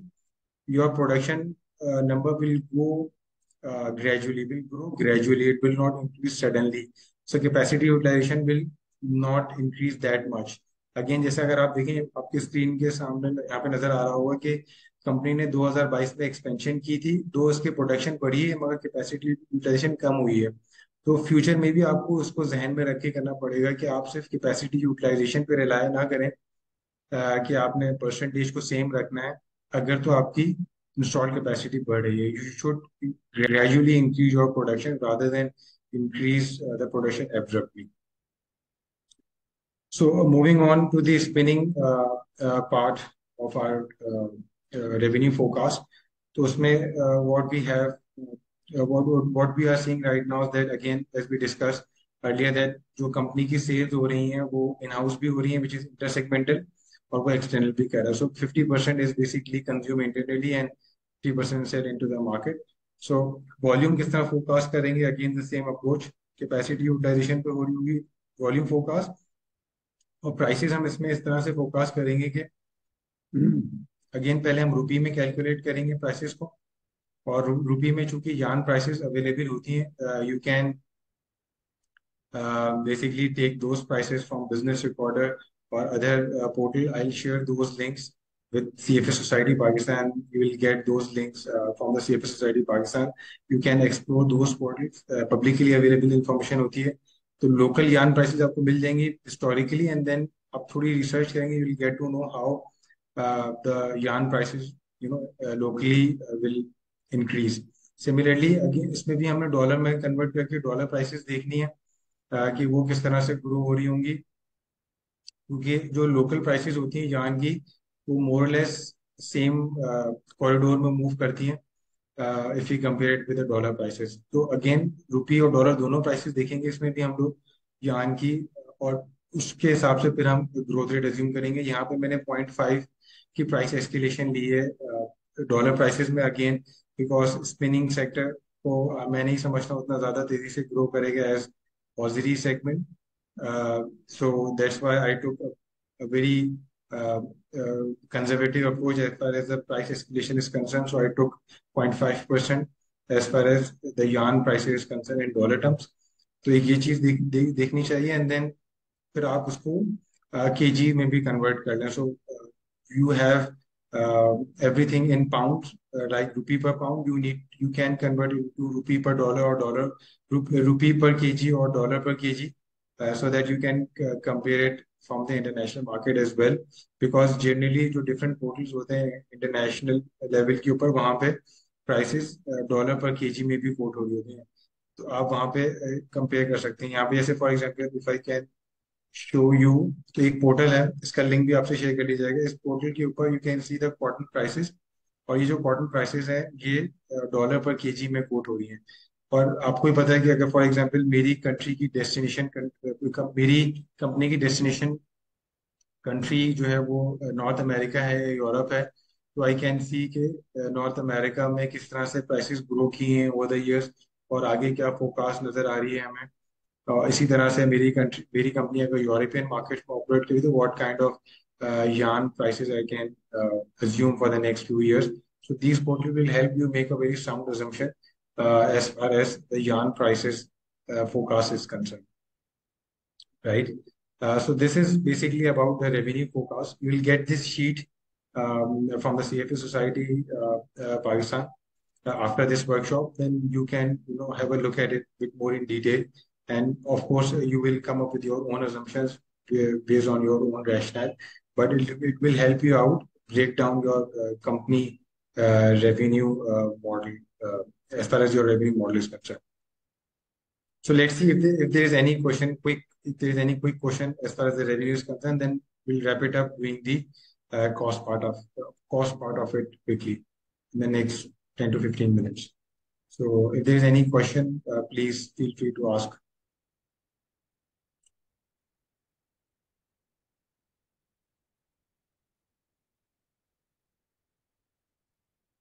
Okay ji Faizan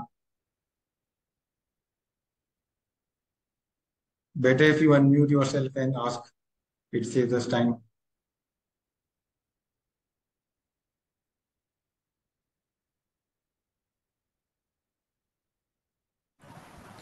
yes hello basically basically कुछ companies हैं जो uh, cotton पे तो मतलब यार्न पे तो डिपेंड करती है but they are also towards जैसे सिंथेटिक हम बात कर लें रॉ मटेरियल यूज़ कर रही हैं तो उन उनको उनका भी जो है वो कुछ फैक्टर इंक्लूडेड होना चाहिए आई गेस उनको कैसे okay fair that's a good question so so since we are done with the revenue forecast as you mention the synthetic part of the manufacturing process of yarn may come into your as part of your raw material may be That may not be your finished good, right? So you are selling yarn and hosiery as your finished goods into the market. So as part of your revenue forecast is concerned, you may not be focused that much on your uh, on the on the raw material side of it. You will focus on the uh, on the price of the finished goods of, of your company, which is hosiery and yarn in our case. Uh, so, yeah, so the point you mentioned may come uh, up when we forecast the raw material of our company again. So, if your company is uh, manufacturing yarn and hosiery, uh, there are two major components of uh, two major components of the raw material. Again, as part of cost of goods sold, again the raw material is the major component. And in the raw material, we have two more uh, uh, big segment. One is the raw material yarn, which is uh, the raw material for hosiery, and the raw material as cotton, which is in fact the raw material for yarn itself. So for the in order to forecast uh, uh, the the cotton uh, requirement to manufacture yarn, what we need to do, we need to understand that how much yarn we need to produce a dozen pair of socks. So it is a general rule of thumb that 500 gram of uh, yarn is needed to basically uh, uh, manufacture one dozen of socks, right?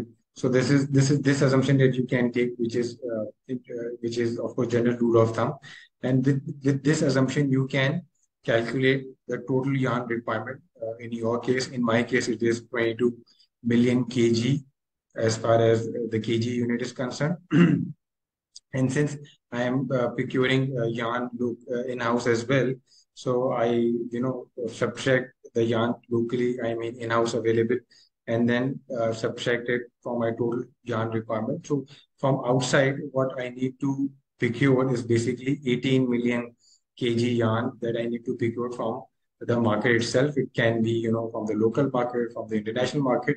It depends from where I can get the better quality yarn at a better price. So as far as the quantity is concerned, you can, you know, uh, calculate uh, the, the, the yarn requirement as follows, as, as, as we discussed. Uh, but for uh, the cost part of it, so you know, uh, in the revenue uh, section, we calculated the yarn prices as our finished good price. you can take that price as your cost as well but you took a discount, but you can take a discount to it.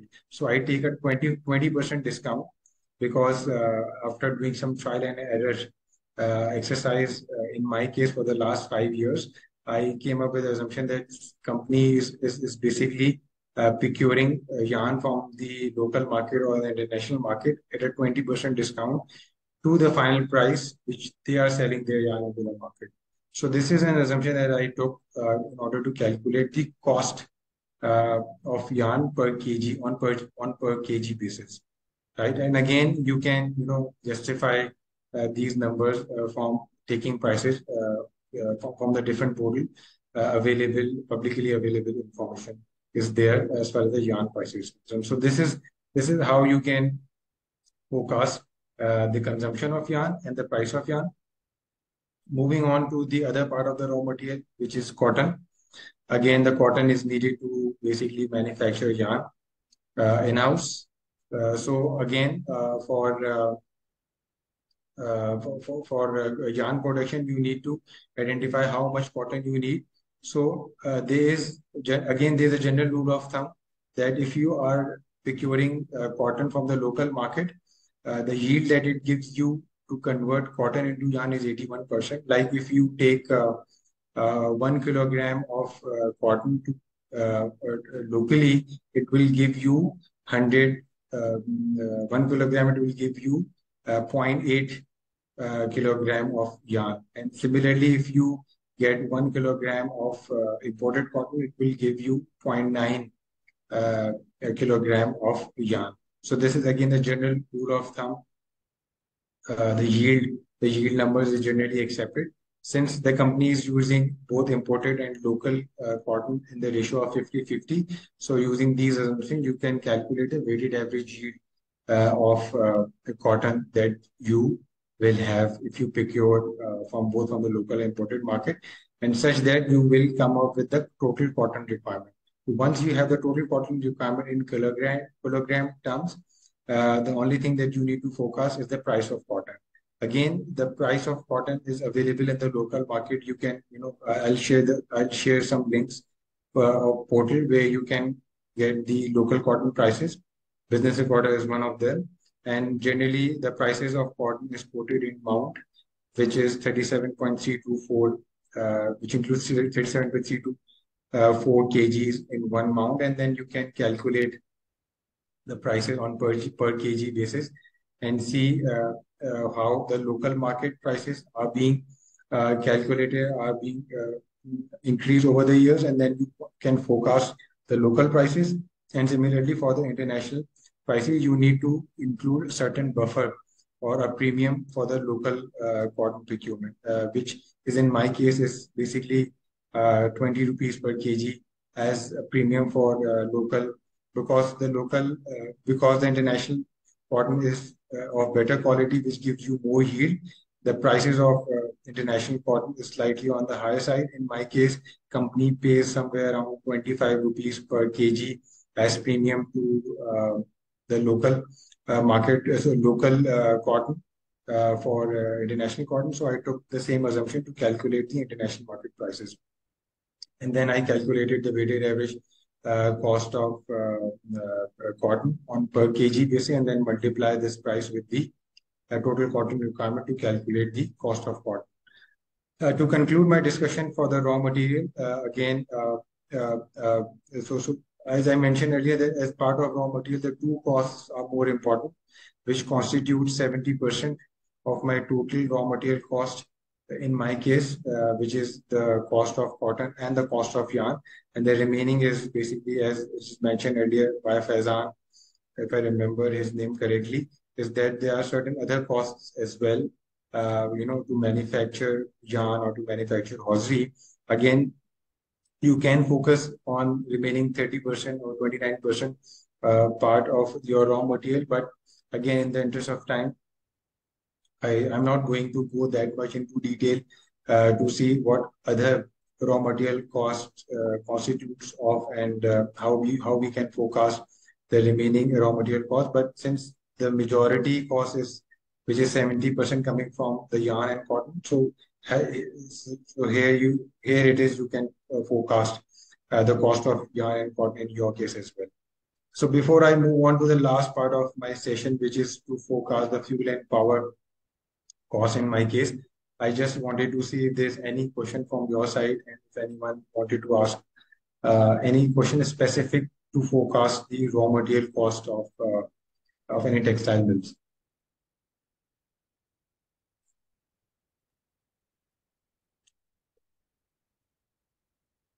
Please unmute yourself and ask if there's any confusion, anything you would like to discuss, particularly to this case study or maybe in, in general about uh, the uh, about the textile company or the spinning mill or a hosiery unit. Okay, fair enough. So moving on uh, to the last part of our discussion. So here's the uh, fuel and power. Again, I as I said earlier that uh, what you need to do, you need to be aware of the fact that what is the sanction load uh, of the company and uh, and uh, what is the running load of the company. and in my case, the running load is 35 megawatt. And after having after after knowing that that running load is 35 megawatt, I can calculate uh, the number of units that the company may need for a period of entire year. And, and if I assume the company is not going to increase its running load because I do not expect any increase in capacity uh, installed for the company. Therefore, I assume there should not be any increase in running load. Therefore, I kept the running load at the constant level of 35 megawatt. And using this running load, I can calculate the megawatt hour units, the units that the company would need uh, to fulfill its energy or electricity requirement. And these are the units that we need to uh, ensure that the company should have enough uh, generation uh, or the enough source of electricity available. And since it is also given that the solar uh, uh, so the solar capacity project of 10 megawatt is installed within within the factory premises of the company. So the company will get this source of electricity for free at least because it is in-house. And the entire capex has already been done in the previous years. And this source of electricity is completely free uh, for it. Therefore the the units generated uh, from the solar uh, project can be calculated using the capacity utilization factor of 17% which is again a general number uh, across pakistan uh, based on the solar irradiation, uh, solar insolation number. And then if we calculate the total number, we can subtract this number from the total energy requirement to calculate the net energy requirement net of solar. And then we will see that the, net energy requirement can be met uh, from the two sources of generation or two sources of energy. One is grid, which is from any disco. In, in my case, which is K Electric and uh, it, it, could be any other disco in your case. And the other source of electricity is basically the gas generators. So uh, what we can assume in our case, like the grid tariff is uh, is somewhere around 37.5, and this is the revised weighted average tariff that we can take. And it is a weighted average tariff including all other adjustments. Uh, normally we have like quarterly adjustment, fuel cost adjustment, peak hour, non-peak hour, so generally in the industry, industrial sector, the weighted average cost of uh, electricity from the grid that they get is 37 per unit. We can take this uh, assumption as part of unit uh, unit cost, and the grid it consumes 50% of the remaining electricity. So it'll take 50% and then calculate the uh, the cost of electricity that it gets from the grid.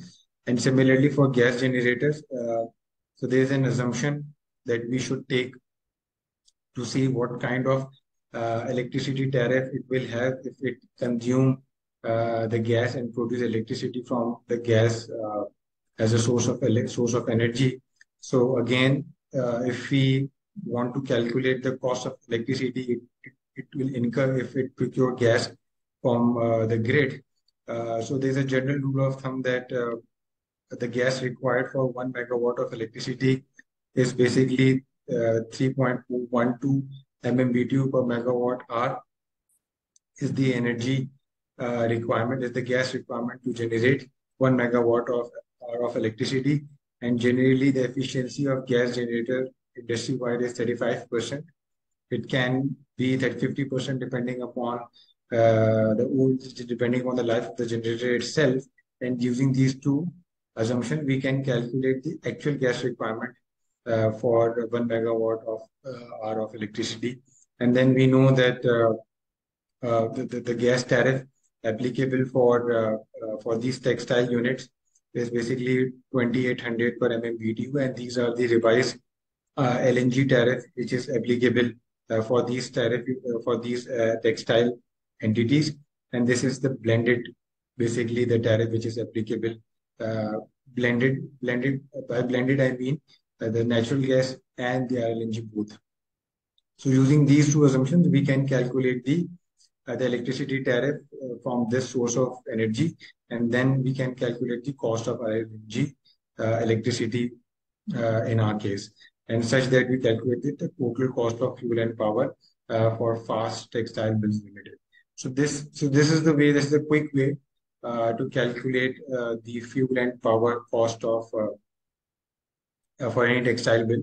We'll get this sheet. You can, you know, have a detailed look at this on, in this Excel sheet to see how you can calculate the cost of uh, fuel and power for your uh, company in order to forecast the uh, you know, cost of fuel and power for the next five years in your case. So this is it from my side as far as uh, the part two uh, of my discussion is concerned. If you have any questions regarding part one or part two, uh, do let me know. We can have quick Q&A session for the next five minutes maybe.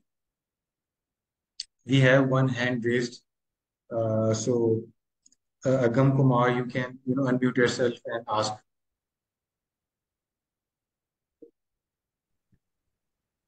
Uh, sir, the question is that like we are considering in this case we are considering only two segments like yarn and the whole.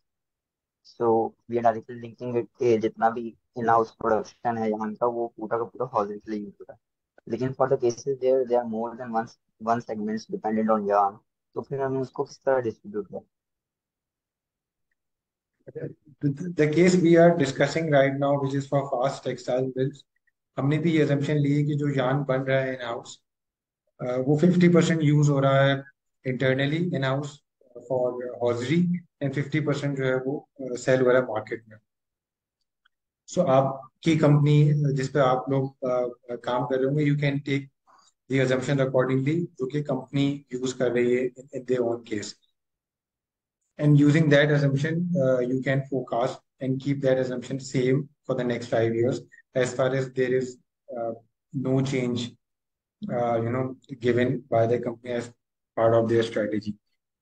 तो उसको इस तरह कर सकते हैं। बस एक चीज़ ध्यान में रखने की ज़रूरत है। वो ये है कि जो इन हाउस जान को जब आप मार्केट में सेल कर रहे होते हैं और एट द सेम टाइम आप मार्केट से पिक्योर भी करते हैं यान ताकि आप अपनी हाउसरी मैन्युफैक्चरिंग में करें तो उसमें कुछ ना कुछ प्राइस डिफरेंशियल ज़रूर होगा। That's why you are not keeping the entire in house yarn for your in house consumption generally होता ही है कि आपको बेटर प्राइसिंग मिल रही होती है मार्केट के अंदर डिमांड बढ़ रही होती है तो you sell your internally produce yarn into the market to basically earn uh, uh, better profits uh, uh, और जब प्राइसेस थोड़ी सी नीचे आती हैं you procure yarn from your hosiery uh, segment at the same time. तो आपको थोड़ा सा देखना पड़ता है। कि वो मार्केट डायनेमिक्स के हिसाब से किस तरह से क्या बेटर प्राइसिंग आपको मिल रही to basically maximize your profit at the end of the day generally companies जो है वो कोई एक स्टेट ऑफ़ पैटर्न पे नहीं चल रही होती। Uh, लेकिन जो general rule of thumb apply किया किया जाता है वो अराउंड फिफ्टी परसेंट का ही होता है। Because it basically it operates across all across the entire year उसमें वो अपनी सीजनैलिटी के हिसाब से सेल और बाय कर रहे होते हैं मार्केट के अंदर तो and this further information you know you can also take it from your industry mentor और faculty adviser if they have any specific knowledge with regards to the industry as well. But as per my understanding is concerned, company की अपनी strategy के हिसाब से you can make your own assumptions accordingly.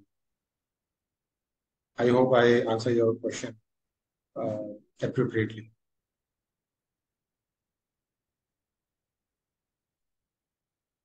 So do we have any other questions from the participants? I can wait for next couple of minutes before we end the session uh, by 6:15.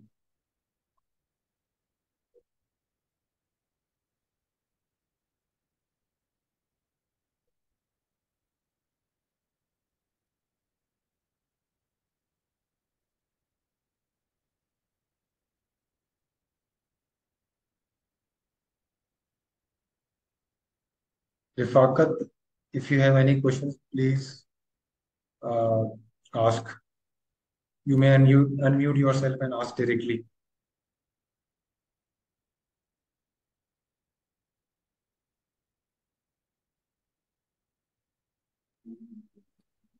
Um, Sir, the question is that considering the previous uh, floods issues, the grid uh, of our industry and the other part of, uh, and the other competing industries would have been affected.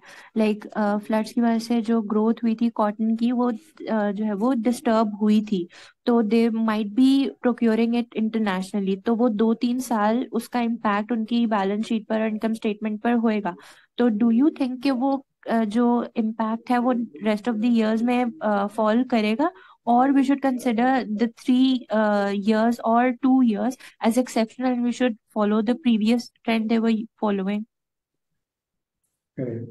इसको एक चीज़ हमेशा में रखिए, जब आप financial model बना रहे होते हैं फोकास्टिंग कर रहे होते हैं तो जो भी अन इवन या वन ऑफ़ इवेंट्स अकर होते हैं in history you will not forecast in your in your forecasted period तो अगर कोई फ्लड आया था for example last year N B C के जो कॉटन की प्रोडक्शन इम्पैक्ट हुई थी जिसकी वजह से हमने देखा कि कॉटन मिल्स इम्पोर्ट भी किए हैं ज़्यादातर स्पिनिंग मिल्स ने। तो that was basically one of catastrophic event which we which we may not forecast for the future year we do not know when this event will happen so as part of forecasting exercise we generally do not forecast any one-off events in future as far as our forecasting is concerned. तो आप उस particular year को exclude करके impact calculate करेंगे और फिर आप एक नॉर्मलाइज इनकम की बेसिस के ऊपर या नॉर्मलाइज प्राइसेस की बेसिस के ऊपर अपनी फोकास्ट को बिल्ड कर रहे होंगे। जितने भी वन ऑफ़ इवेंट्स हैं उसको आप एक्सक्लूड करके देखते हैं आपने। Be it from the cost side और be it from the revenue side आपको एक जंग जो है वो 2020 में कोविड के टाइम पे भी दिख दिख सकता है प्राइसिस के अंदर या वॉल्यूम्स के अंदर जो कि कंपनीज़ ने एक्सपीरियंस किया था। एक्सपोर्ट एक्सपोर्ट कंपनीज़ में तो that again is basically one upside that companies experience due to covid में भी।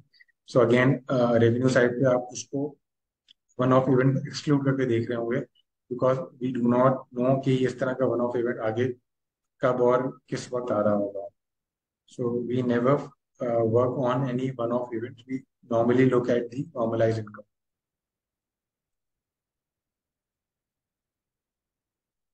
Okay, fair enough. So, uh, Javeria, I think we do not have any more questions, so we can uh, end the session probably.